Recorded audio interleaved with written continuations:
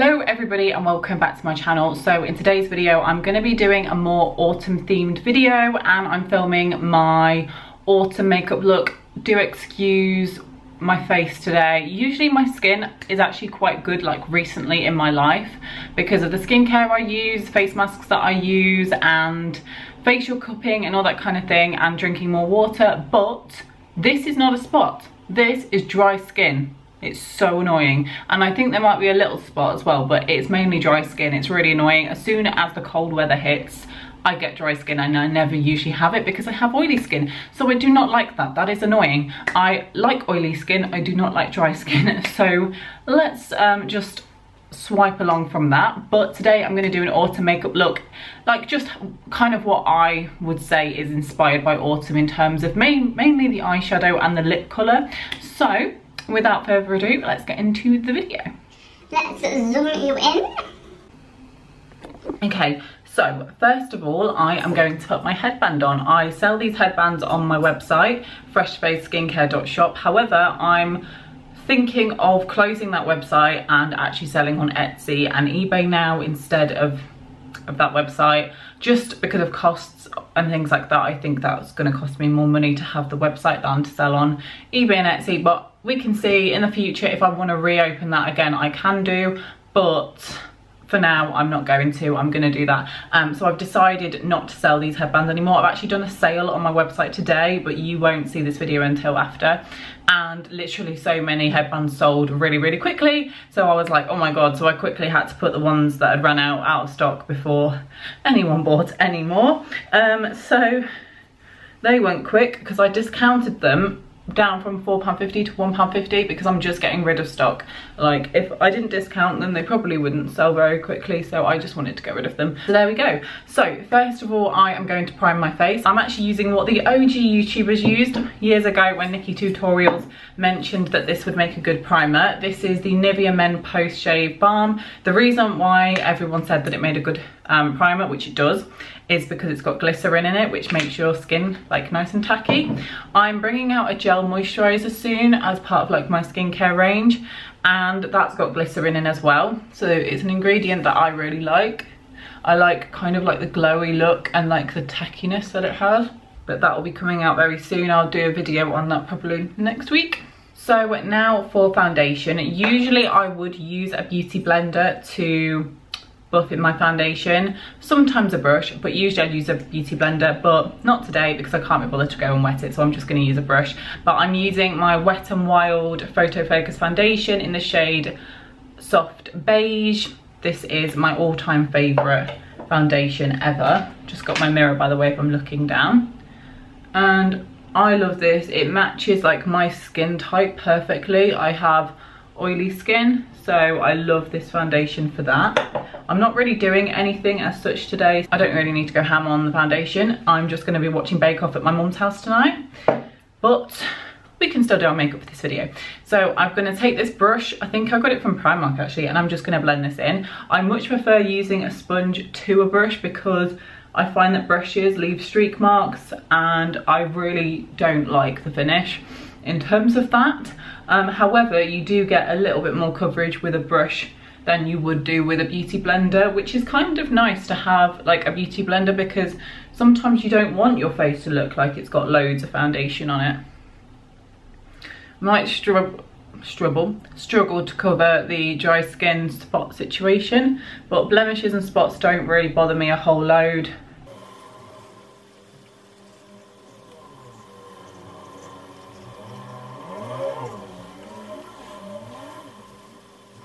that is foundation done. I'm now going to conceal and I'm using the Collection Lasting Perfection Concealer in the shade Fair number five. This is an amazing concealer. I really, really love this. They reformulate, uh, they repackaged it. It used to have a different packaging and also a different size doe foot and this is much bigger which is a lot better um, i don't i actually hate applying concealer with a brush i really do because it just goes everywhere it's not precise with a beauty blender, it's more precise. So I'm gonna blend this in. I kind of work section by section um, because it is one of those concealers that does dry out and you don't want it to dry on your face before you've had chance to blend it in. That's all I'm gonna say. I do apologise for that and I also apologise to my neighbours for scaring the poop out of them. This is a really nice coverage, that's why I like this so much because it is a really full coverage um, and I like how it brightens my face. So yeah, I would recommend this concealer 100%. It's really, you know, cheap and affordable and it is really, really good. And I'm 100% rebuying this um, when it runs out. A little bit on the chin and forehead and we're done. I feel like I've been applying concealer for like an eternity.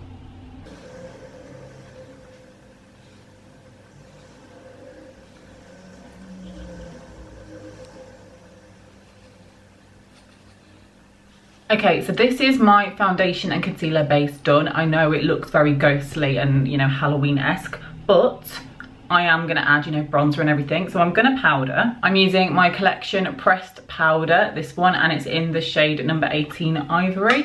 I just go for cheap powders. I don't need expensive powders. For me, my skin stays matte due to my foundation rather than my powder. I find that dewy foundations are not good for me. I do not like them with my oily skin, um, but matte foundations tend to keep my skin looking nice and um, matte all day, but not too matte, but yeah. So any powder is good for me. Right, I'm just gonna contour very, very quickly. I'm using this Sleek contour palette here. It's quite old, it's in the shade Fair 372. They might not have this, but they probably do because it's like a core product. But I'm just going to contour my cheekbones and under my jawline a little bit.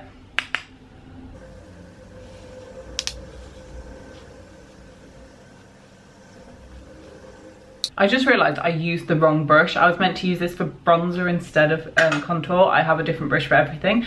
Never mind, we're on to bronzer. This is the Collection Bronze Glow Matte Bronzer. I always, always say this. I don't understand why it's called Bronze Glow when it's a matte, um, a matte powder. I just can't get my head around that, but maybe that's just me. Um, but yeah, I'm just gonna bronze up my forehead. I think bronzer personally is one of my favorite products because look at the difference that it makes. Like it literally just makes your skin go from really pale and like flat, if you know what I mean, because you've done the foundation um, and concealer to actually like looking like you've got like a slight tan.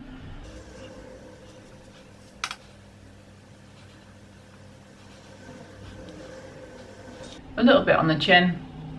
Right, for blusher, I'm using this blusher from Lidl. It's in the shade number three, Sweet Harmony. And this is an amazing blusher. It's only just over a pound from Lidl and I really, really like it. It works really well. It's nice and pigmented. It's a nice color and I really love it. So I would recommend, you know, I'm definitely the person to tell you you don't need really expensive makeup. I think products, especially I think when it comes to things like foundations, you have to find what suits you and sometimes that can be slightly more expensive depending on what you're looking for. But when it comes to things like blushes, please do not waste your money um, on like really expensive things, especially if you know, the brand is like still not cruelty free and it's really expensive or something like that, like just don't do that. Because I can completely understand why you'd want to pay a little bit more if the brand is cruelty free and if, you know, the product's going to last ages and if it's like really highly pigmented, etc. But, you know, you know, it's up to you. It depends what people prefer. But I'm going to use this highlighter palette, which is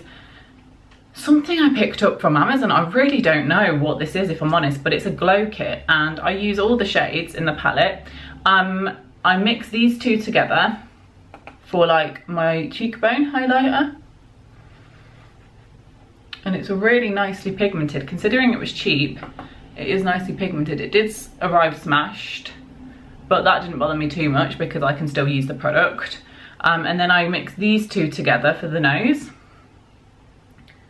So there's my nose, tip of the nose, then for my cupid's bow here above my lip, I'm using this kind of more like yellowy smashed shade, which uh, again, it doesn't bother me that it's smashed. And that's my highlighting done. And then I just take this um, little brush and I just kind of blend everything together. This is what I used to do my powder with and I just like to kind of blend everything in together, you know. I just do, you know? You know. Right, now we're gonna move on to eyebrows. So I'm going to use this spoolie. Again, this is something that's on my website. I'm sure it will still be on my website when this video goes up. So go and check these out. You get three of them for £1.50. So nice and cheap. But they are super handy and I've literally had this for like two months. So yeah, definitely lasts you a long time. Because that's only one. Then I'm using my Body Shop brow and liner kit in the shade number three and I'm just going to fill in my eyebrows. I used the lighter brown shade on the inner part and the darker kind of more like blacky brown shade on the outer sort of section but I won't talk you through it, I'll just do it and you can see.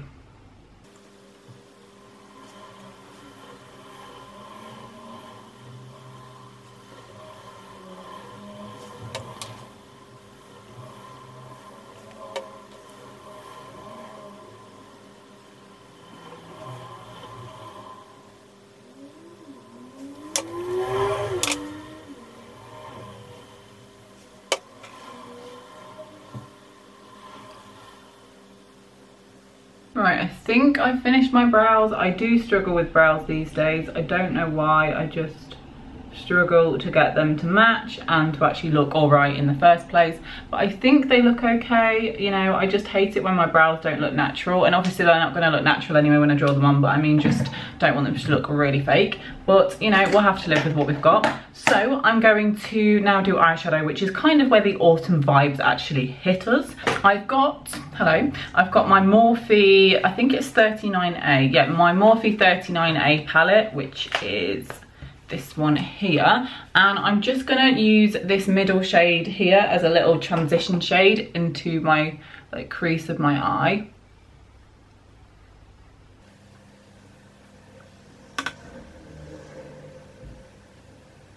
I think I'm gonna go in with this like goldeny shade up here and I'm gonna pop that kind of on the inner corner of my eye and then just make it a little bit darker. This is gonna be Jesus Christ, Georgie. This is going to be kind of a dark, like, makeup look. So, inner corner of the eye.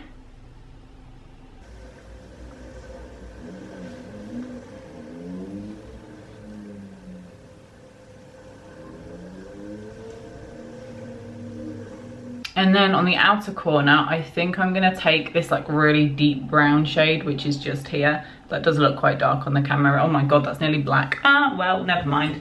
That's what we're going for. I don't mind experimenting with eyeshadows. Like I'm completely comfortable with doing a really intricate eyeshadow look and just leaving the house. Because I know some people would feel a little bit self-conscious, you know, experimenting with eyeshadows and then like leaving the house. But I think for me, it's just, I don't really care. like I can happily leave the house with no makeup on and I can happily leave the house with makeup on. So it just does not bother me. When it comes to my makeup, unless I think my makeup looks really terrible, like if I think it looks terrible, then I'm like, oh damn. Now, I often find, this is a little bit of a random conversation, um, but I do often find that I'm actually more confident and I feel less self-conscious when I have no makeup on than when I have makeup on. And some people may say like, oh, you, you only put makeup on to feel confident or because you think you look good and therefore you're putting it on.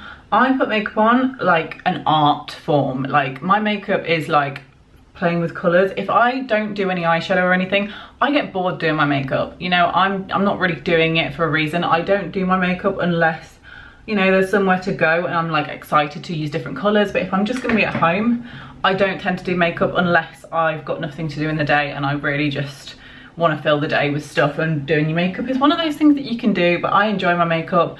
I sometimes feel more self-conscious wearing makeup because I know that a lot of people can judge you um, for the fact that you've done your makeup and stuff. If it's quite in, you know extravagant if it's quite extravagant some people will judge you. And you know, I don't really care how load, but people often assume something about you by the way that your makeup is. For example, if I had full face of makeup on, maybe someone would be slightly more intimidated by my presence than if I had no makeup on, which I understand because that's how I feel sometimes with certain people. Um, I would feel more intimidated by somebody that's wearing like tons and tons of makeup and like false eyelashes and everything than if um, they was to wear no makeup. So I don't really understand it, but it's true. And then to kind of like make it a little bit more autumn vibe, um, I'm going to use this kind of brownie shade on the outer um, corner just to smoke that out a little.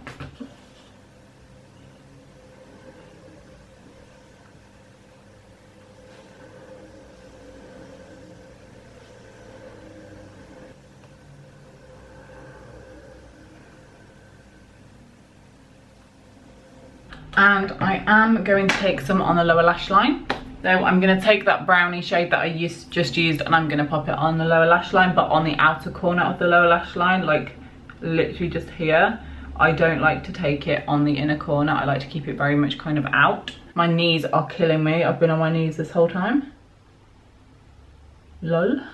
And now I'm going to do an inner corner highlight. I'm just going to take the really kind of paley sort of white shade from this palette, eyeshadow palette, and I'm just going to use that in my inner corner of my eyes. And a little bit under the brow bone. I'm now going to do mascara, but what I do is, this is actually a duo from Lidl, a, um, an eyeliner and a mascara for literally like £2.50. Love the eyeliner, it's really pigmented, really good quality, and I just put it on the top of my lash line, on the outer corner, and it just deepens it up a little bit, and it just makes a massive difference. Like, I don't know how, like maybe it doesn't, and it's just my in my brain, but I really love doing that. So just like on the outer corner, it just thickens um, the lash line a little bit. Like, can you see the difference between the two? Maybe not, but we're still living. So, I'm trying to be quick because filming your makeup is not a quick process. And there we go. So I'm now gonna do my mascara and then I'm gonna get back to you. It's kind of drying up, so great.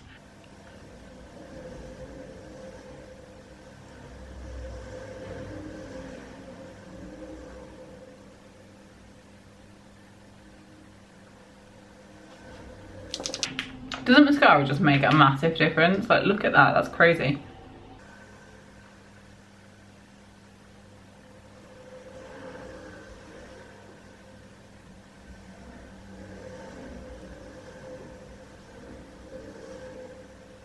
Right, mascara done. Can I just point out that if I was going out on a night out, I would not do my eyes after. I would always do my eyes before my foundation, just to prevent any fallout. But if I'm not going out, then that does not bother me one bit. So lipstick wise, I have actually, now usually people associate sort of autumn makeup looks with like a purple lipstick or a purple kind of like satin lipstick or gloss or anything like that. I associate autumn colours and autumn with browns. So this is a brown um, lip gloss from Primark, had it ages. So I'm gonna pop that on my lips.